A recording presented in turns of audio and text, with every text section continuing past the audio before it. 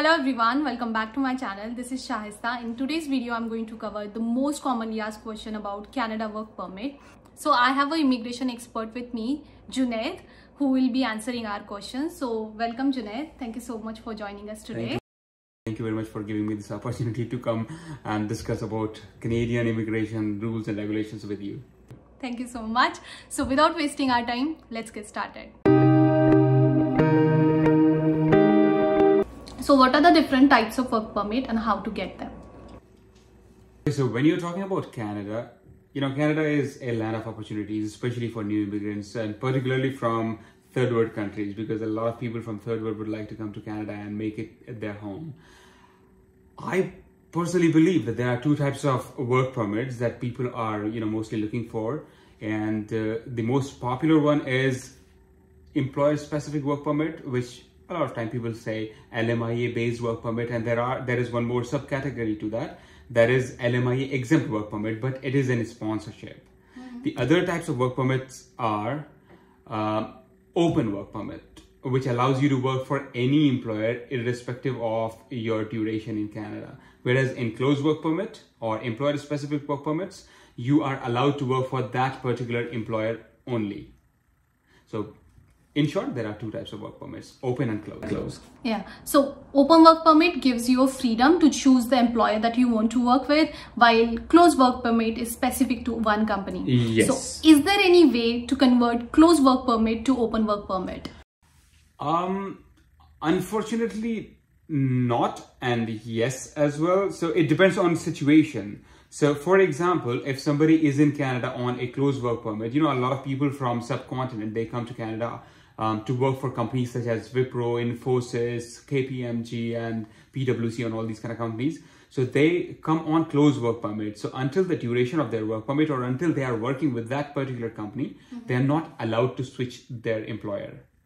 But during that work permit or maybe after the expiry of that work permit, they can switch their status to student and eventually after that, they can switch back to open work permit because if you are in Canada as a student, then you are allowed to work in Canada, you're allowed to obtain a an open work permit called postgraduate work permit. That is the first option.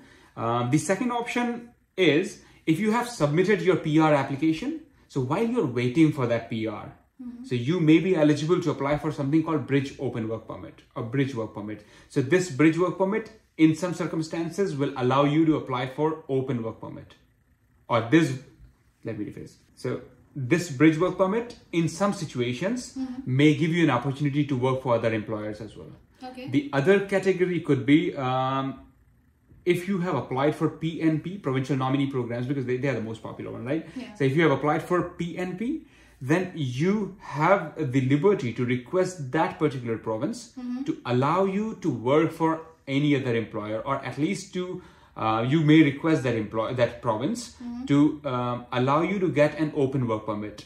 It is very much possible. We have seen these kind of situations and cases in our um, practice. Okay. And what are the conditions to apply for open bridge work permit you said so technically, you are just uh, you can just apply for bridge work permit. Mm-hmm. So bridge work permit means that while you're waiting for your PR or a decision on your PR, mm-hmm. and if your work permit, your existing work permit is expiring or expired or going to get expired, yeah. then to cover this period, you can apply for a work permit. That work permit is called bridge work permit. Okay. In some circumstances or in a lot of circumstances, mm-hmm. this bridge work permit may allow you to work for any employer. So this duration of few months will be um, equal to an open work permit duration. And for that, like my expiring work permit could be anything. Like it could be open work yes. permit or closed work permit. Yes, right? it can be anything. And uh, not just that, you know, because of COVID, government of Canada has been introducing um, different kinds of work permit every now and then.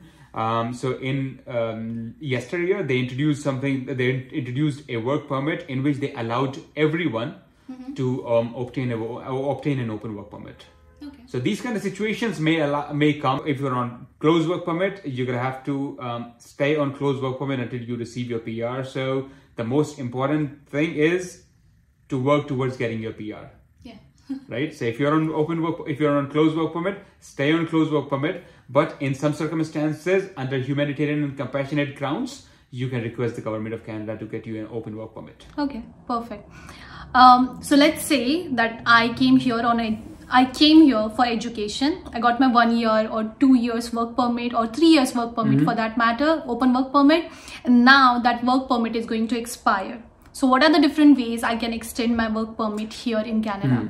You mean the postgraduate work permit? Yeah. Okay, so this is a very common problem that uh, a lot of people are facing these days.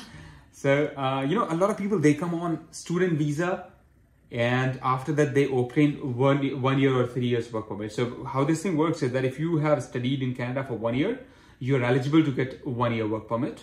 If you study in Canada for two years, then you are eligible to get the work permit of up to three years. years. So two years does not really mean that you have to do a two years program. You can do one year, two programs of one year each. Yeah. That can also work, right? So, so the most uh, important thing here is that you have three years. If you have, so you have three years, and you must do everything possible to obtain your PR within these three years. Otherwise, life is going to be very difficult. Because after this, you are left with just one option, two options. So first of all, if you have op- applied or if you have obtained a postgraduate work permit, so you cannot get it again. It is just one time thing, Oh, once right? Yeah, once in a lifetime thing. If you have drained out your work permit, Yeah. the postgraduate work permit, then you are left with just two options. Option number one is provincial nominee programs. So um, pretty much all the provinces in Canada they have something P- PNP, which allows in many situations it allows candidates to apply for PNP, which also um, eventually can get you know um, helps them get PR. So if you can obtain a PNP, provincial nominee program, then you may extend your work permit until you receive your PR. Because there are two different types of PNPs. One is called um, express entry PNP and second one is called non-express entry PNP. So for express entry PNP, it is still fine because you can get PR in like six months or so. But if you get stuck in non-express entry PNP, Yeah. then after the approval of PNP, it can take up to two years for you to get PR. So Till those two years, I can stay in Canada or I have to go back to my country. you have to maintain your status. Okay. So until you are waiting for the decision or or an outcome on your PR application, it is your responsibility to maintain your status.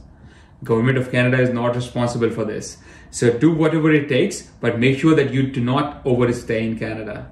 Oh, so you mean maintain your status Maintain means your if status. your work permit is going to expire, then you you have have to, to, back. find a way to extend your work permit. Okay. So in this situation, you can ask government of Ontario. For example, if you have obtained the uh, pro, uh, PNP of Ontario, Yeah. Mm-hmm. so you have to ask government of Ontario to give you a certificate or a letter Yeah, to apply for a work permit extension. yeah, At this stage, Mm-hmm. you may ask them or at least try and request them to give you an open work permit letter yeah. which can help you to you know extend your work permit as an open work permit anyway because we are talking about student visa work permit or post graduation work permit so this is an open work permit so in um, anyways you're going to get the open work permit extended Yeah, and I think PNP is some topic which can be covered in another session as well. So there are so many topics that we can cover in under PNP. So if you guys interested, do let me know in the comment section below, and we'll definitely make the different video on that. Next question is like, in order to apply for work permit, one should know this. Like, what are the eligibility criteria for a person who is intending to get work permit? Like age, education, any exam. So, as I said, there are two types of work permit: closed work permit and open work permit. So, for closed work permit, um, age, IELTS, any of these things are not required. But exam, yes, there may be, you know, there may be some sort of requirements for um, some sort of an education in order to obtain that work permit. But it depends on the company's requirement. It has nothing to do with government of Canada. As long as company is happy. So, for example, uh, if you are not a dentist in Canada, no one will hire you as a dentist in Canada. Okay. So you will not get a work permit for that, right? Okay. But if you are a software engineer in, for example, in India, Yeah. then any company in Canada can hire you Okay. because you do not need a specific Canadian software degree for that, For that, yeah. right? So as long as you are eligible to work in Canada, Yeah. you can apply for the work permit, employer specific work permit. Okay. So it's not compulsory. It's de- completely depends on company to company and profession to profession. Profession, I would say. Yeah, that's. There is one more category. Sorry, I'm, I think we missed that.